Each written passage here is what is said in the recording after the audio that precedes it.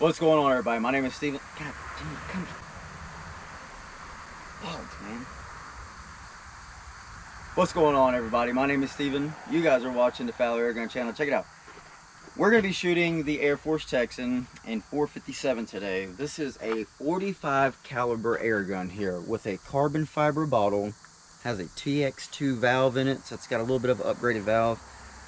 And uh, it's been modified a little bit. This is a hunting platform. Going to be running a red dot on it this year. Hopefully we'll get out there in the woods and we'll be able to shoot us a couple deer with this this year. And uh, going to be running it as light as possible. Going to be running it just like this out in the field, possibly even with no bipod on it. Maybe the sling will go on it, but that's about it. And today I got a really cool video for you all. So today we're going to be shooting this 40 plus 40 plus some major power here and we're gonna put a smack on this lead plate today. We're gonna have a little bit of fun doing it. i'm tired of jumping around editing all these videos and being crazy. This is the air force texan in 457 that is a 45 caliber air rifle. Big i know producing more than 500 foot pounds of energy okay? So this is an absolute beast of a platform. When you talk about air guns this is really what got me into air guns was the big bore air gun platform. It is just so great to get out and sling these huge chunks of lead out of this and just feel such awesome power. So today we're going to be doing just that. We're going to destroy this lead plate that I melted down for us today just for this video here. This is a 40 plus, I want to say, my, my wife and I both kind of toyed around with this. I don't have a scale, but we believe this thing to be over 40 pounds. So it is hefty, okay? And uh, you know over two inches in some areas on it. And we're gonna shoot it today. I'm gonna show you what we're gonna shoot it with okay? So we're gonna shoot it with some 348 grain knurled hollow point boat tail slugs from Nielsen specialty ammo. Some 290 grain Nielsen specialty ammo. Uh, is a flat bottom hollow point. A 196 grain Nielsen uh, this is a little bit more of a cut bottom slug here. I believe this is a copper jacketed 240 grain. It's a 40 caliber Hornady round here with a ballistic tip on it. So we're going to give that a shot. And then finally we're going to try some, I believe these are 220 grain 45 ACP reload rounds here for a pistol. And we're going to sling them all at this big old fat lead plate. Let's quit talking and get right into it.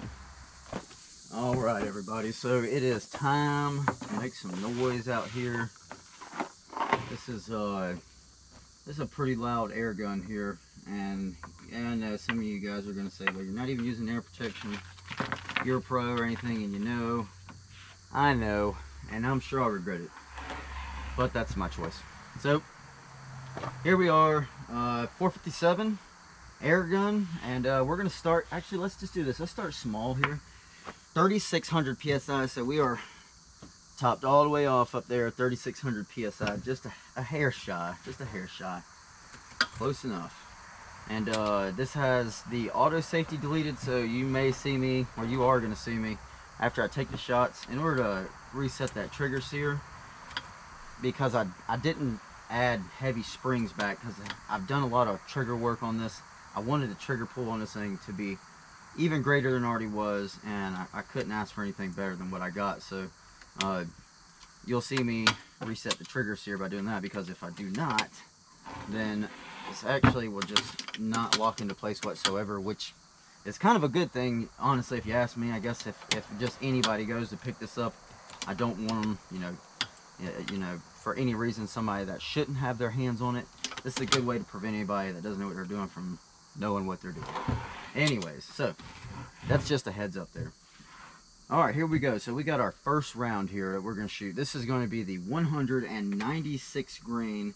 This is actually a 454 uh, diameter on this so it's not quite the 457 which we got 450 here on this and this is actually 40 caliber but we're going to use a sabot to take up uh, a sabot to take up a little bit of room there inside of the barrel and uh, also it's going to help to uh, keep that co uh, copper from contacting the inside of the, uh, the barrel to rifling there since this is an air gun uh, and this does have a Lothar Walther barrel in it which is a very tough rifle barrel however we're going to try to be as generously nice as we possibly can to it and uh, yeah, the sabot is really just helping to keep from scarring up that barrel in it because we pretty much just run soft lead through this.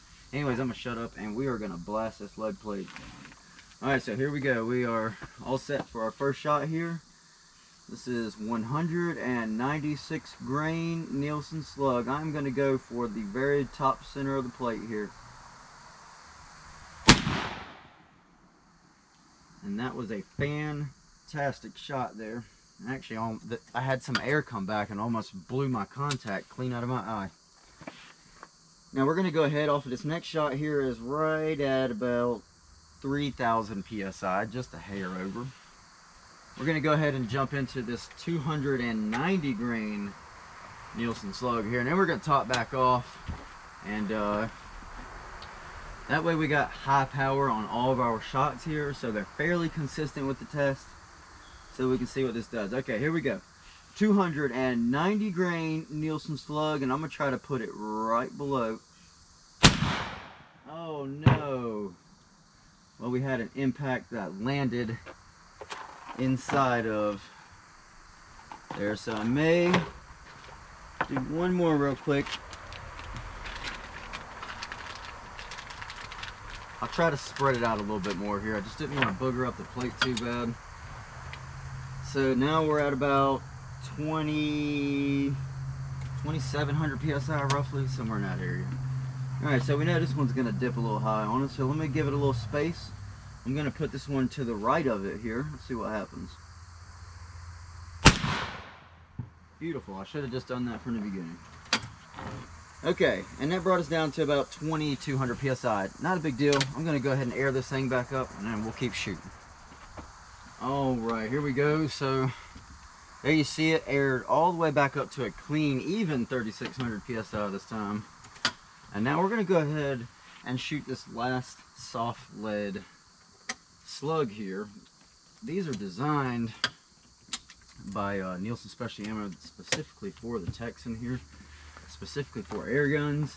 And they are it's it's like a piece it's like a work of art. It's like chunking a work of art downrange almost. It's really nice. All right so this one i expect to have a slight bit of drop on it.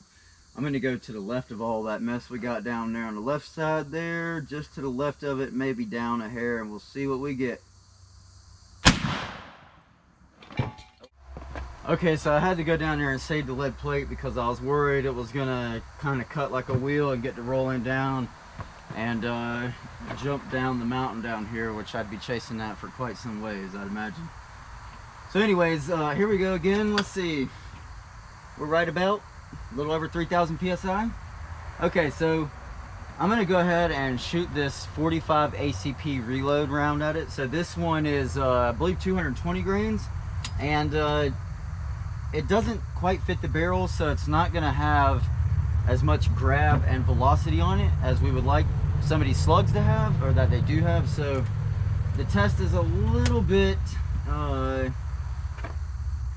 not leaning towards these these jacketed rounds because obviously they're not made for air guns but uh, we're still gonna shoot them anyways and just see what they do. Okay so I'm not really sure where this one's gonna go but it can't go too far out of the way. Let's just go below let's go on the the left side here below the last shot and see what happens Good, good hit. And I actually just saw something moving right over here by these logs. I'm not sure if that was maybe part of the copper jacket or something went shooting off. All right, so now we're at 20, about 2,800 PSI roughly. And uh, I think we're gonna go ahead and take this last shot on that power actually. I don't believe that's gonna be, oh, what am I doing here? See, novice mistake. I don't have a sabot here. So I'm going to be using this, I believe this is a uh, 240 or 220 grain ballistic tip here. And uh, we're just going to take these sabots here. This is going to fill up some of that diameter so it gives it good contact. Get out here, mosquito. So it gives it good contact inside of that barrel, but not contact with the actual projectile itself. All right, so here we go. Let's take this final shot here and uh, nice and snug in there. That actually fits very nicely in this barrel here. All right, here we go. Final shot here.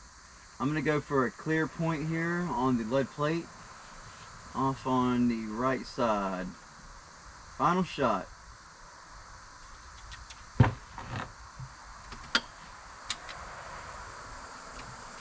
All right, here we go. This is gonna be our final shot here with this Hornady round. Let's see what happens. I'm gonna go for uh, the just to the right. Let's go to the right of that last shot. Beautiful. And I actually feel like I see the round stuck in the lead plate from here. Alright, cool. So we just got rid of everything that we possibly can. Actually, I have just one more thing. Okay, so here's what I've done. I went and aired back up real quick to a 3600 PSI fill and grabbed one last thing I'd like to test. This is a 400 grain boat tail hollow point slug here from Nielsen. This is a huge heavy chunk of lead, 400 grains, and we are going to sling it 3600 psi out of this lead plate and see what happens in comparison to some of those copper jacketed rounds we got down there. All right, let's see. I'm gonna aim for the clean spot at the very bottom below all that and we'll see what we get here. Here we go. Nice solid shot and that thing had much more recoil on it. All right, now to the favorite, my favorite part. Let's go check out this lead plate. All right, so I've got our lead plate here for us. Let's take a look at it because what I see is very interesting. All right, so our first shot we took was right up here at the very top. That was with a 196 grain Nielsen slug. But then one of our 290 grains dipped right into just about the same hole. Now something that I found out that's just really interesting is that this lead plate here, when I cast it, somehow formed a bubble here on this backside and it's almost like it's kind of hollow down in that side. So I don't want to jip anybody and I don't believe this plate is just hollow all the way through like that.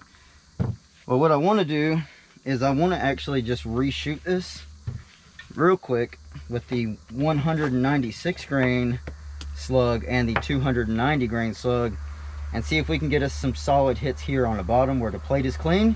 But for the rest of the rounds, let's take a look. So, if you look here, this was our 348 grain boat tail slug. And you can just see that that thing really buried itself down in there a good ways. And right here, this does not look like it does down in this cavity here where it looks a little hollow inside this actually looks like a much more solid part and look how incredibly far down that got in there. Now that's a pretty heavy slug 348 grains. Here's our next slug right here which was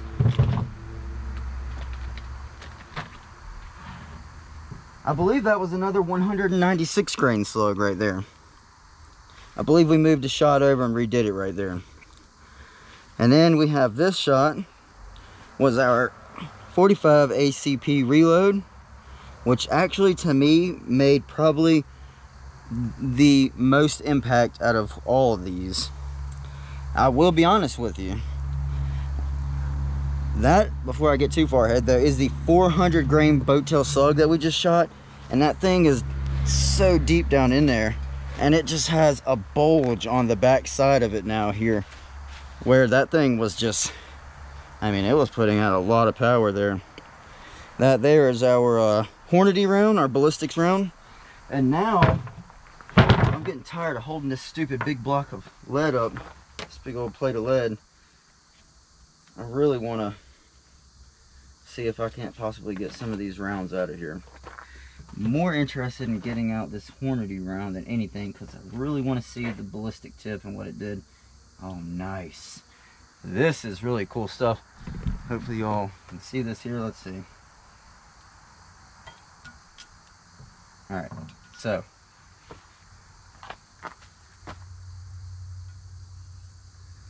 That's our ballistic Hornady round there. The tip obviously smashed up completely flat and this thing actually mushroomed way more than I thought it was going to. So it expanded quite a bit. And uh, the copper jacketing, actually the majority of it stayed in place. And uh, it was expanding with it as well. You got a nice good bit that retained in the back end there. Probably about a quarter of the actual projectile itself. But over overall, I think that's really, really cool stuff there. And uh, it goes to show you too, let's take a look at this uh, size of this lead plate here. The reason why I keep putting these gloves on is because I just melted this plate down here and it's, you touch all over it, your hands will just turn straight gray. Anyways, that is a nice wallop in that lead plate right there. Right there from that Hornady round. Let's see if I can get this uh, 45 ACP reload out of here. This one is looking like it's going to be quite a bit more difficult. Yep. Yep. This one is in there, guys. The copper jacketing is wanting to come off of it some, but I can't, I just, I can't even peel that away from the walls here. There's just nowhere real good that it's uh, getting behind the projectile. It's really, really in there. I mean, that's full, that's almost my body weight right there. Wow you know, I gotta be honest with you. I don't think that there's many rounds I've ever been able to not pull out of the uh, the old lead plate here. Wow. Even this round here has really sunk in there. Well, it looks like I just made a really good lead plate. That's probably what it is. Anyways, I'm gonna go get this set back up now, and we're gonna try to take two more shots at this real quick, just so we can call it fair and square right at 3,000, just a hair over 3,000 PSI here. And we're gonna redo these, the first two shots actually, uh, just to make it fair. So this is a 196 grain slug here. We're gonna start out with this one first. And I'm gonna try to put this one on the left side, top left side of the plate here. Beautiful. All right, now let's go ahead and load this next round. This is our 290 grain Nielsen hollow point slug here. And then let's see what happens just to the right of that. Hopefully we can keep it clean. On the edge of the plate, but I think it's on there. Let's have a look at it now. All right. So we redid our last two shots here, just to call it fair and square. 196 grain, 290 grain. Now, you can obviously see that that 196 grain slug dug in there pretty well probably because it was moving a bit faster. Uh, but if you look at the splash from the 290 it's made a much larger crater in there. So what did we learn from today's video? Well i don't know probably absolutely nothing. Well maybe a little bit. Shooting lead plates is awesome. Shooting lead plates with big bore air guns is even more awesome and uh, it's just a whole lot of fun. And I really appreciate you guys getting out here and checking out this video with me today. I wanted to bring you guys some content that I haven't brought to you in a while. I haven't shot the lead plate in quite some time. And I had a couple of things that I really just wanted to try on the lead plate here. And I'm glad I got it out there for you all. So this is the platform that I will be using to shoot at some deer this year. I'm going to be running it just like this maybe without the bipod on it possibly have a sling on it but uh, this is going to be pretty much it here so really shooting the lead plate has nothing to do with shooting deer. Uh, I guess to some extent it can show you a little bit about ballistics, but because we're not shooting a lead deer, uh, it just doesn't co, you know, just doesn't, just doesn't matter. it's just for fun. And uh, I hope you guys enjoy this video. Just out here goofing off and uh, really just enjoying shooting my air gun, my big bore air gun specifically because every once in a while you just you get that hair that monkey on your back and you just got to get out and you just got to feel the power. I hope you guys enjoy this video. If you got any questions or comments anything you want to see me do leave a comment below and i'll do my absolute best to get back to you. Read your comment and uh, you know plan do some future planning on some videos with you all. If you guys have ideas let me know what you guys want to see because it's kind of hard. I can't read your minds from over here. Anyways i hope you enjoyed the video. Give it a thumbs up if you do Subscribe if you want to see more from this crazy old circus. And as always, I'll see y'all on the next one.